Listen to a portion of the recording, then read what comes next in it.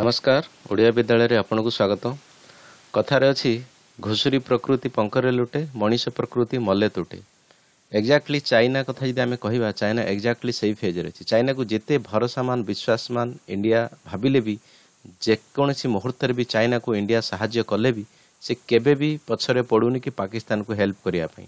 କାହିଁକି ସବୁଠାରୁ ପାକିସ୍ତାନକୁ ହେଲ୍ପ କରିବାରେ ଚାଇନାରେ ବଡ଼ ଭୂମିକା କ'ଣ କାହିଁକି ପାକିସ୍ତାନକୁ ହେଲ୍ପ କରୁଛି ଚାଇନା ଏତେ ନିଶ୍ଚିତ ମୋ ଭିଡ଼ିଓ ଏଣ୍ଡରେ ଆପଣଙ୍କୁ କହିବି ତା ପୂର୍ବରୁ ମୁଁ କହିବି କି ଇଣ୍ଡିଆ ଚାଇନା ଭିତରେ ଯେଉଁ ରିଲେସନ୍ ଅଛି ଦୀର୍ଘ ସତୁରି ବର୍ଷର ରିଲେସନ୍ ଏଇ ଗୋଟିଏ ସପ୍ତାହ ପୂର୍ବରୁ ଆମେ ଆକ୍ଚୁଆଲି ଏ ଯେଉଁ ସତୁରି seventy years diplomatic relation between India China ଆମେ ଅବଜର୍ଭ କରିଥିଲେ କି ସେତେବେଳେ ଚାଇନା ସହିତ- ଯେତେବେଳେ ପୁରା ବିଶ୍ୱର କେହି ମିଶୁନଥିଲେ କାରଣ ଚାଇନା କମ୍ୟୁନିଜିମ୍ କଣ୍ଟ୍ରି ଥିଲା ଇଣ୍ଡିଆ ଥିଲା ଡେମୋକ୍ରେଟିକ୍ କଣ୍ଟ୍ରି ଡେମୋକ୍ରେଟିକ୍ କଣ୍ଟ୍ରି ହିସାବରେ ଇଣ୍ଡିଆ ଫାର୍ଷ୍ଟ ଟାଇମ୍ ଚାଇନା ସହିତ ମିଶିଥିଲା ଯେଉଁଟାକି ଚାଇନା ପାଇଁ ଉଦାହରଣ ସୃଷ୍ଟି କରିଥିଲା ଭାରତ।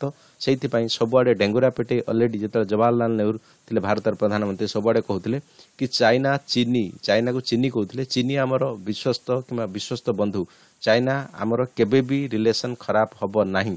କିନ୍ତୁ ଚାଇନା ସେଟା ପ୍ରମାଣ କରିଦେଇଥିଲା ନାଇନଟିନ୍ ସିକ୍ସଟି ଟୁରେ ଉଣେଇଶହ ବାଷଠିରେ ଯେତେବେଳେ ଇଣ୍ଡିଆ ଚାଇନା ଭିତରେ ଯୁଦ୍ଧ ହେଲା ଜବାହରଲାଲ ନେହେରୁଙ୍କ ଏତେ ବିଶ୍ୱାସ ଥିଲା ଚାଇନା ଉପରେ ସେ କେ- ଆଖି ବୁଜିକି ବିଶ୍ୱାସ କରୁଥିଲେ କି ଚାଇନା କେବେ ବି ଇଣ୍ଡିଆ ଉପରେ ଏମିତି ଭାବରେ ଦୁର୍ବ୍ୟବହାର କରିବ ନାହିଁ ବଟ୍ ସବୁ ମ- ଅ, କଳ୍ପନା ଜଳ୍ପନା ଶେଷ କରିକି ଚାଇନା ଶେଷରେ ଭାରତ ଉପରେ ଯେତେବେଳେ ଆଟାକ୍ କରିଥିଲା ତ ସେତେବେଳେ ଆକ୍ଚୁଆଲି ଜବାହରଲାଲ ନେହେରୁ ଆକ୍ଚୁଆଲି ସେଇ ଦୁଃଖରେ ହିଁ ଭାଙ୍ଗି ପଡ଼ିକି ତାପରେ ହିଁ ମୃତ୍ୟୁବରଣ କରିଥିଲେ। ଏତେ ତାଙ୍କୁ ଦୁଃଖ ଲାଗିଥିଲା କି ଚାଇନା ଭଳିଆ ଦେଶ ଭାରତ ଉପରେ ଆଟାକ୍ କରିବ।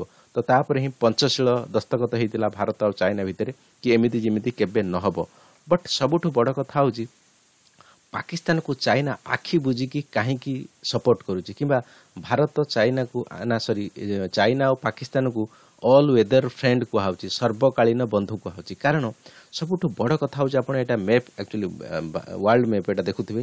ଏଇଠି ଚାଇନା ଅଛି ତ ଏଇଠି ପାକିସ୍ତାନ ଅଛି ଏଇଠି ଭାରତ ଅଛି।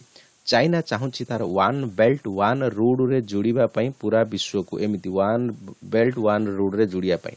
ସେଇଥିରେ ବି ପାକିସ୍ତାନ ଅଛି ଭାଗିଦାରୀ ପାକିସ୍ତାନରେ ସେ ରୁଡ୍ ପାସ୍ କରୁଛି।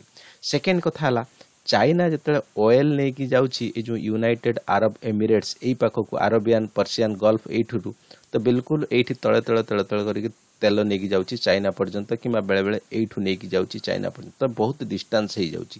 ଏଇଠୁ ନେଇକି ତେଲ ଯାଉଛି ଏଇଠୁ ବାହାରିକି ଏଇଠୁ ବାହାରିକି ପୁଣି ଏଇଠୁ ଚାଇନା ପହଞ୍ଚୁଛି ବଟ୍ ଚାଇନା ଚାହୁଁଛି ପାକିସ୍ତାନକୁ ଆମେ ବାରମ୍ବାର ଅ, ବହୁତ ପ୍ରକାର ଲୋନ୍ ଦେବା ଲୋନ୍ ଯେମିତି ପାକିସ୍ତାନ ସବୁବେଳେ ଆମ ଆଡ଼ିକି ସପୋର୍ଟ ହେଇକି ରହିବ କାରଣ କ'ଣ ନା ଚାଇନା ଏବେ ଚାହୁଁଛି ଯେଉଁ ଏଇ ଯେଉଁ ରାସ୍ତା ଅଛି ଏଇ ଯେଉଁ ଆମର ଇଣ୍ଡିଆନ୍ ଓସେନ୍ରେ ଏଇଠି ରାସ୍ତା ଅଛି ଏଇ ବାଟରୁ ନେଇକି ଚାଇନା ଆକ୍ଚୁଆଲି ଗୋଟେ ରୁଟ୍ ବାହାର କରିବ ଯେଉଁଟାକି ତାକୁ ତେଲ ନେବା ପାଇଁ ବହୁତ ସୁବିଧା ହେବ ବହୁତ ତାହାର ଖର୍ଚ୍ଚ ବଞ୍ଚିଯିବ ଆଉ ଏତେ ଯେଉଁ ଡିଷ୍ଟାନ୍ସ ବୁଲି ବୁଲି ବୁଲି ବୁଲି ସେ ଜାହାଜରେ ତେଲ ନେଇକି ଯାଉଛି ସେଇଟା ହେବ ନାହିଁ ପ୍ଲସ୍ ପାକିସ୍ତାନକୁ ଅଲ୍ ୱାନ୍ ରୁଡ୍ ୱାନ୍ ବେଲ୍ଟରେ ବି ଯୋଡ଼ିଦେବ ସବୁଠାରୁ ବଡ଼ ମୁଖ୍ୟ କଥା ରହୁଛି ସେଇଟା ଚାଇନା ଆଉ ପାକିସ୍ତାନ ଭିତରେ ବନ୍ଧୁତ୍ୱରେ। ତେଣୁ ସେ ଚେଷ୍ଟା କରୁଛି ସବୁବେଳେ ଯେଉଁ କାଶ୍ମୀର ଇସ୍ୟୁ ପାକିସ୍ତାନ ଅକୁପାଏଡ୍ କାଶ୍ମୀର କିମ୍ବା ଥ୍ରୀ ସେଭେଣ୍ଟି ଆର୍ଟିକିଲ୍ ଯେଉଁ ଜାମ୍ମୁ କାଶ୍ମୀରରୁ ହଟେଇ ଦେଲା ଇଣ୍ଡିଆ ତ ତାକୁ ନେଇକି ସବୁବେଳେ ଚାଇନା ଚେଷ୍ଟା କରୁଛି ଇଣ୍ଡିଆକୁ କିଛି ଦବାଇବା ପାଇଁ। ବଟ୍ ଯାହାଫଳରେ କି ଅଲରେଡ଼ି ନରେନ୍ଦ୍ର ମୋଦି ସାହେବ କହିଦେଇଛନ୍ତି କି ଭାରତ ଆଉ ପାକିସ୍ତାନ ଭିତରେ ଯାହା ବି କାଶ୍ମୀର ଅଛି ଆମେ ଦୁଇ ଜଣ ମିଶିକି ସଲ୍ଭ କରିବା ସେଇଥିରେ ଚାଇନା ଇଣ୍ଟରଫେୟାର କରିବାରେ କୌଣସି ଆବଶ୍ୟକତା ହିଁ ନାହିଁ। କାରଣ କିଛି ଦିନ ତଳେ ଅଲରେଡ଼ି ଯେତେବେଳେ ଡୋନାଲ୍ଡ ଟ୍ରମ୍ପ କହୁଥିଲେ ଚାଇନାର ୱାହାନ ସହରରୁ ଯେଉଁ ସୃଷ୍ଟି ହେଇଥିଲା ଅ, କି ଭାଇରସ୍ ଏ, ଆମର କହିପାରିବା କି କରୋନା ଭାଇରସ୍ ତ ସେତେବେଳେ ଚାଇନା କହିଥିଲା ନାହିଁ ଭାରତ ଭଳିଆ କଣ୍ଟ୍ରି ଆମକୁ କହୁନି China virus Wuhan virus Donald Trump ବି ନ କହନ୍ତୁ। ବଟ୍ ସେତେବେଳେ ଭାରତକୁ କହିଥିଲା ନାହିଁ ଭାରତ ଆମ ସହିତ ସବୁବେଳେ ଅଛି। ବଟ୍ ଦୁଇ ଦିନ ପରେ ହିଁ ପୁଣି ଚାଇନା ବଦଳିଗଲା କି ନା ପାକିସ୍ତାନ ସହିତ ଆମେ ଅଛୁ। ଆପଣ କାଶ୍ମୀର ଇସ୍ୟୁ ସଲ୍ଭ କରିବା ଦରକାର। ବଟ୍ ତା ପ୍ରତିପକ୍ଷରେ ଭାରତ ବିଲକୁଲ କଡ଼ା ଜବାବ ଦେଇଦେଇଛି କି ପାକିସ୍ତାନ ଭାରତ ଭିତରେ ଯାହା ବି କାଶ୍ମୀର ଇସ୍ୟୁ ଆମେ ଦୁଇ ଜଣ ମିଶିକି ସଲ୍ଭ କରିବା।